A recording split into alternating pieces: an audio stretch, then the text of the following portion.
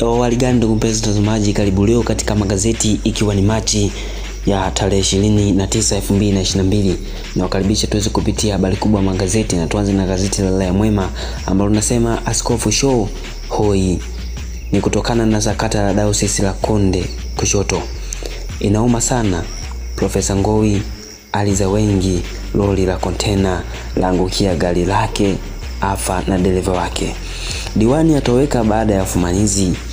Yaona gazeti la Raia Mwema michezo nasema Simba yajimarisha ni kwa kupambana na kutinga robo fainali, na wanawake Nigeria wafuzu kombe la dunia. Gazeti Habari Leo linasema serikali yatoa bilioni 2.5 soko la wamachinga elfu tatu.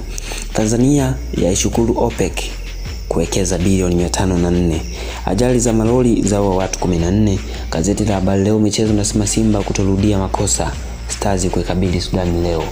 Gazeti lingine ni gazeti la Mwananchi ambao nasema kontena la katisha uhai wa Profesa Ngowi, na gazeti la Mwanaspoti michezo nasema mechi moja tu kuisha kazi, na Onyango ndiyo hivyo. E, Simba Sporti e, ya waponza bekani mzuka wa kambi noma. Hatari sana.